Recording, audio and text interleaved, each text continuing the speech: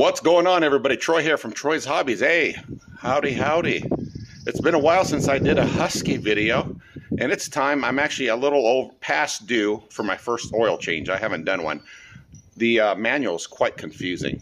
Uh, I think they could have done the manual a little better. Uh, but yeah, here she is. Uh, I, I bought this uh, last season. I think it was last season. Uh, the date will be down below somewhere. I have to check it check it out. I actually did a uh, arrival video, so I'll have the exact date. But I I purchased it pretty much at the end of my mowing season. I'm here in a Eastern Washington, so you know we don't we don't mow year round here. It's you know it gets cold pretty fast, and then of course snow. But yeah, she's a little dusty. She's due for an oil change. It has cooled down enough just to double check, this is the tune-up kit. This is for the FR 600V. FR 600V. So of course, a quick thing to do is uh, we're going to clean the outside first, especially my dips. My dipstick looks like crap. Look at that. my goodness. Uh, of course, we'll clean up the area so no particles get inside the engine. Clean. The easy one's going to be this, of course, right here. That's an easy one. Yeah, that's due. We'll do that really quick and then go through each process. Uh, I do have some squeaking underneath going on with the uh, tires and stuff, so we're going to go ahead and lubricate that, hopefully, fingers crossed. And yeah, let's get to it. We're going to go ahead and let's open this up really quick. Couldn't find my pocket knife. I apologize.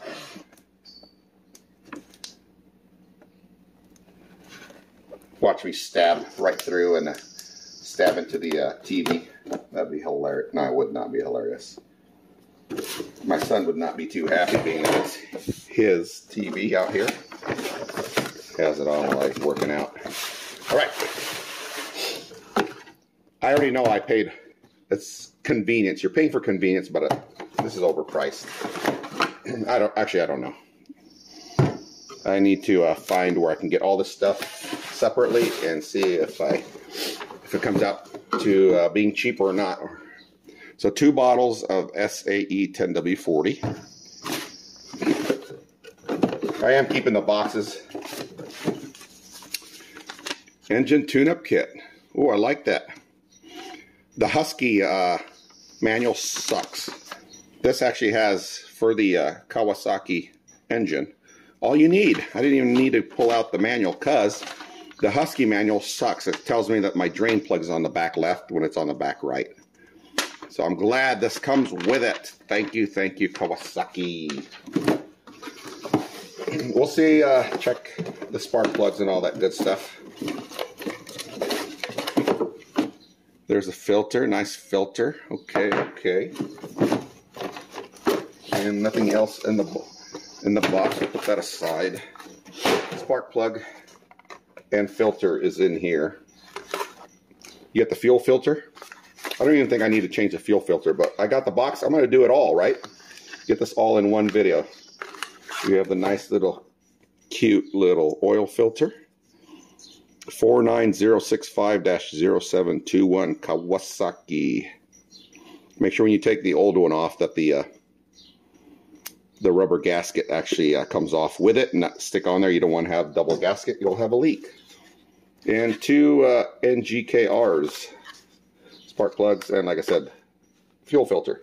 Right. On the Husky manual, it says that my drain plug's on the left, back left. No, it's right here. I can see it. See it? It's right there. There it is, right there. All right. let me. Get, oh, I need to grab the uh, other stuff. All right, folks. I'm gonna do something out of the ordinary for a guy like me. I'm gonna follow the instructions. So they want me to change the air filter, so we're going to do that now. By the way, if you hear me coughing, I'm allergic to about three pages stuff here now. Since, uh, let me see, I'm 47. When I turned 44, roughly around there, I started coughing really bad.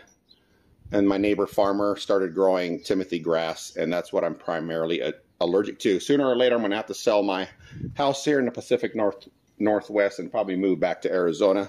And of course, I'm Timothy grass, of course, says hay. It's race. They use it for race horses. It's one of the things I'm allergic to. And of course, hay. So of course, Kentucky bluegrass, I'm allergic to, but not as bad. So if you hear me sniffling and coughing, I do apologize. Please bear with me. All right. So we're going to go ahead and follow the instructions and uh, go down the list. Number one is change the air filter. So you got a tab here, feels like it. Looks like it unscrews. Oh, that's it. I thought the whole thing popped out. That was easy. Look at that. Yeah. I should have been paying more attention. I checked it before and it looked all right, and then I must have had a lapse in judgment and didn't check it. But yeah, that's filthy. So it's all the same. There's no top bottom. So I think they had the numbers to the right, but it doesn't really matter. Looks like it. That's filthy. So we'll check around here. Clean. Sure, more interested in not pushing anything back inside. Well, that was really darn easy, folks. And slide that in there. oh, this motor is going to be happy when we're done, folks. Yeah, that seems right. Let's go ahead and tighten this plastic. Don't over tighten it. This might break. It's like a little black plastic key. That's it. We are done with number one, numero uno. Close that up.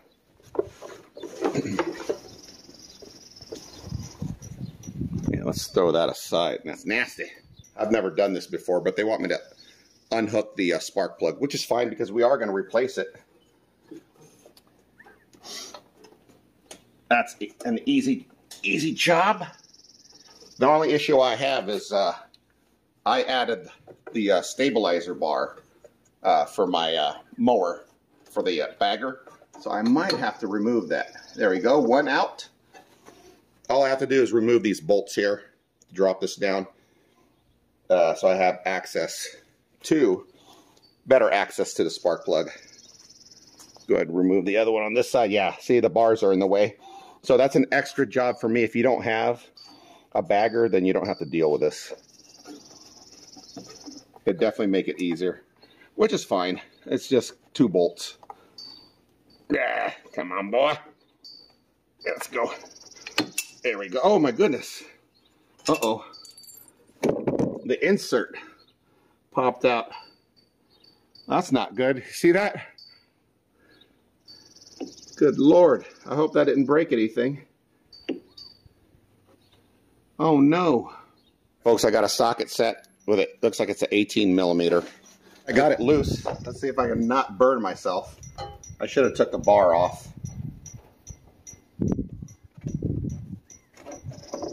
Let's see if I burn myself. Make sure there's a little gasket on here. There we go. Then we'll open up. There you go. Let some air in there. Perfecto mundo. Yeah, that was past due for an oil change, definitely. On the manual, it states uh, 25, 50, and 100 hours. But you can see the little uh, plug. Make sure that the uh, the gasket's on here and not stuck in there, okay? And make sure you clean it out. Place it, put it aside. So when I pull the uh, cable off, this popped out. So uh, this is not good, that's for sure. So I have my friend neighbor friend's going to come over, farmer. He's very uh, mechanically inclined. This shouldn't have come off that easy. We're going to see if we can get it on, or maybe I screwed it up and I got to take this all the way to the city to get it fixed. I don't know, but fingers crossed. So we're just waiting for the uh, oil to drain. Yep, it is what it is. It's completely drained. I'm just letting it go. We had an issue. I pulled too hard on the cable for the spark plug and this popped off. My uh, farmer neighbor, I tell you, if you have a farmer nearby, make friends with him. He has every tool that I don't have. So he's going back. We just cut cut the uh, the sleeve, the uh, boot, whatever you call it, for the cover. And so we're going to put it back on, and he's gonna, he had to go back to the farm and uh, grab. He's going to put heat shrink over it, right? and, and get that fixed so I can be up and running. This one's already been replaced. By the way, this uses a big, big spark plug. As you can see, three quarter inch. This is the right side. This is what the right side looks like. So, and also, I checked the gap. They want you between, uh, what was it? 0.7 and 0.8 millimeter or 0.028 and 0.032 inches. And so we checked it. It was at a loose 0.028, more at both at 0, right, 0.029. So they're good to go. So they're both the same, but yeah, you'll need a three quarter inch spark plug. That's what I'm doing now while he's going back to get the heat shrink. He doesn't like to be on camera, so I'm doing this now. I'm Gonna pull this out. I didn't have to take my bar off. Just gotta work one piece in at a time. Don't drop it. This one-handed operation, as you can see. See, so you need a three-quarter inch spark plug remover. So let's see. I don't know if you can see that on video. That's what it looks like. I'm gonna go ahead and replace this really quick. We'll be good to go and then he'll be back. Work this in by hand really quick. Get it going. We don't want to uh, mess up the uh, threads. Take your time. There we go. Go ahead and put this on there. See, everything fits. So we're gonna go ahead and tighten it down. He told me how far to go, feel-wise. I, I, do have a torque wrench. It's one of those Harbor Freight ones, and I do not trust it. Yeah, that's good. Don't want to over tighten it. So we're, to, we're good to go on that. The filter's right there. Let's go ahead and uh, replace that really quick. Yeah, just make sure everything's clean. I'm gonna wipe that down so I don't get anything in the oil filter or inside the uh, opening. And then same thing here. I'm gonna clean this and then put a little bit of fresh oil around the lip of the gasket. Before we continue, I cleaned the uh, the plug here. I'm gonna re reattach this. Screw this back on. See if you can see it there. And then I'll tighten it down so it's not leaking. Okay, this, I could not get that tool, this tool down in there. But luckily, somebody at the factory didn't crank the shit out of this to tighten it. It's all, yeah, that's easy money. All by hand. Let me double check, make sure it's draining. They have a little, I, I don't know if you can see it. There's like a little opening. See it there? For the oil to go through.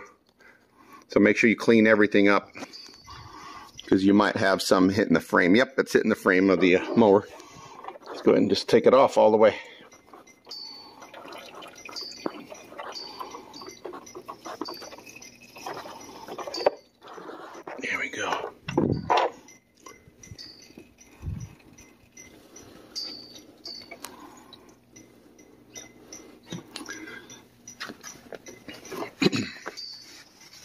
There you go.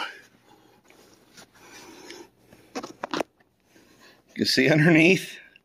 Make sure you uh, wipe everything down afterwards because it leaks all over the bottom of the frame there. See there? Oops, sorry, finger in the way.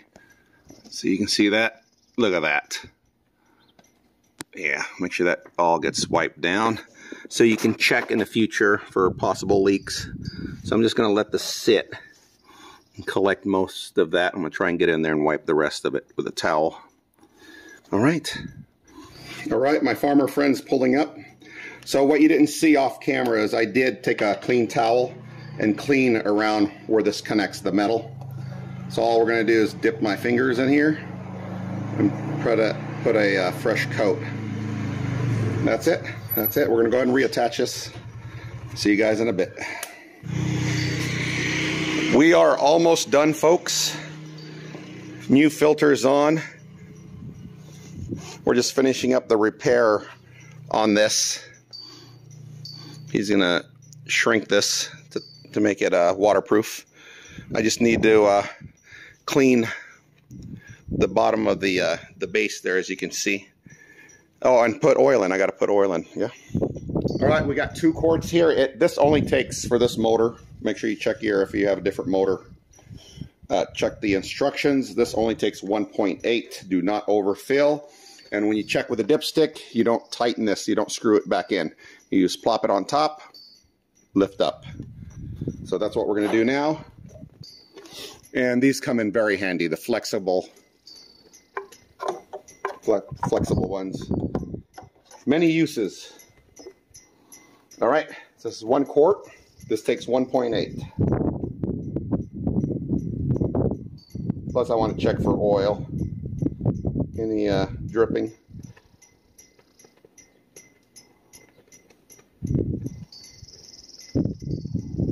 This is 10W40, uh, which is what was recommended.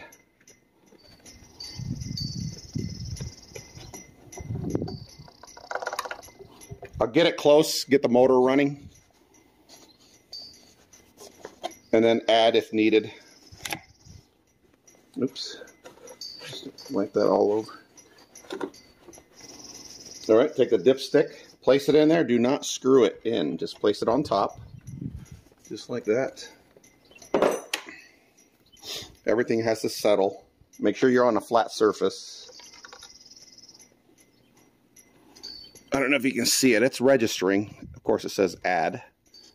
Go ahead and clean that up.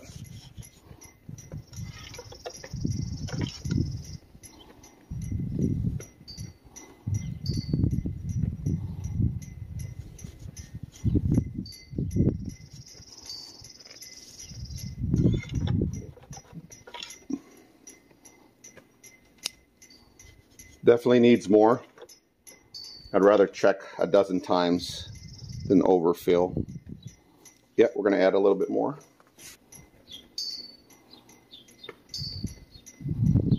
And give it a few minutes to let everything settle.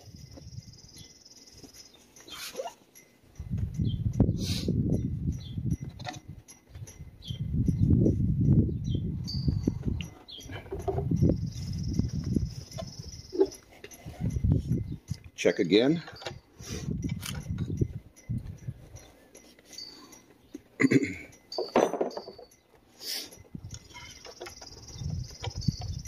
Make sure you don't screw it in. Yeah, we're good. I'm comfortable with that. We're about three quarters of the way between the two, the full and the add. So I want to drive it, circulate the oil before I go any further. Yeah, I'm very happy with that, folks. Hopefully you can see that in the camera. The third hole from the bottom is covered. So I'll do, I'll drive it around get it warmed up, you know what I mean? Get everything circulated and then uh, let it rest for a few minutes and add the extra oil if needed. We are done. Waiting for him to come back so we can uh, heat shrink this piece right here.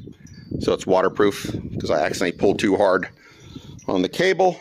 But new spark plugs are in. They're at, they are at 0.029. They want you between 0.028 and uh, 0.030. So we're in the middle and they're both the same, gap the same.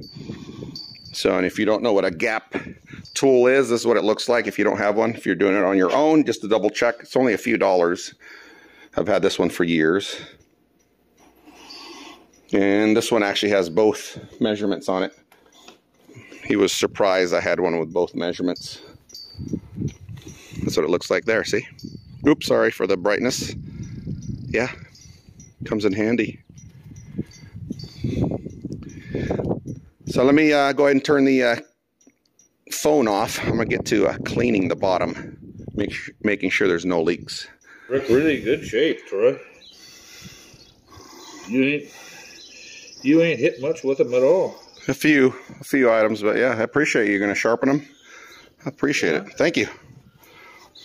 Spark plug repair done. Look at that cable. So right now I'm just going through, I do read the instructions.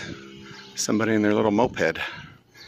I'm going through the lubrication chart just to double check. Uh, so that's what's next. Uh, my, my farmer friend was kind enough to, uh, he has, a, like I said, a whole workshop. So he's he said that the uh, blades were actually in pretty good, decent shape. Of course, I only got 37 hours on this, but he's going to go ahead and uh, sharpen them up for me while I'm going through this process. So I'm just going to go around I'm not going to show this all because there's a bunch of little, uh, see there's little nipples? And it tells you on the list here, uh, lubricate with grease gun and all that. So I'm just going to go through the process. I'm not going to film this part because there's a, quite a few. Zerk. I keep calling them nipples. or Zerk something. Zerk, Zerk fittings. So I got this and this, the two here, and then it's on the outside, right? Got that filled. And then I didn't even know that's what these are here. That's Zerk fittings. So if you have one of these, that's what that's for. So what you got to do is drop it all the way down to one, right? The problem is, is my grease gun. I need to buy the adapter for the, so it's a just, you know, this is metal on the end. It's not flexible. I need the flexible hose. Wait a minute. Oh, I thought maybe I might. No, I can't get to. No, I can't get to. Just so close. That one definitely I cannot.